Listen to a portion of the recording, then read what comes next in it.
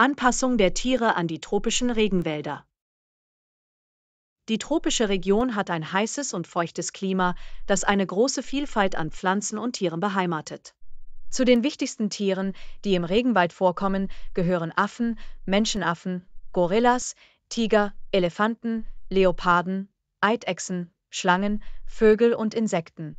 Wow, das sind viele verschiedene Tiere. Wie passen sie sich an das heiße und feuchte Klima an? Gute Frage. Viele dieser Tiere haben einzigartige Anpassungen entwickelt, um in der Regenwaldumgebung zu überleben. Rotaugenfrösche haben beispielsweise klebrige Polster an den Füßen, die ihnen beim Klettern auf Bäume helfen. Und Affen haben lange Schwänze und spezielle Hände und Füße, um sich leicht durch die Äste bewegen zu können. Das ist wirklich interessant. Was ist mit den Vögeln und Großkatzen? Nun, Einige Vögel wie der Tukan haben große, spezielle Schnäbel, mit denen sie Früchte auf Ästen erreichen können, die zu schwach sind, um ihr Gewicht zu tragen. Und Großkatzen wie Löwen und Tiger haben eine dicke Haut und ein empfindliches Gehör, das sie vor Raubtieren schützt. Faszinierend.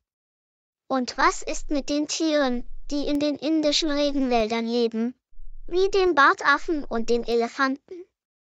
Tolle Beobachtung.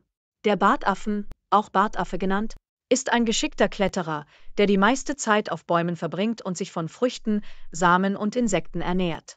Und der Elefant hat sich auf bemerkenswerte Weise angepasst.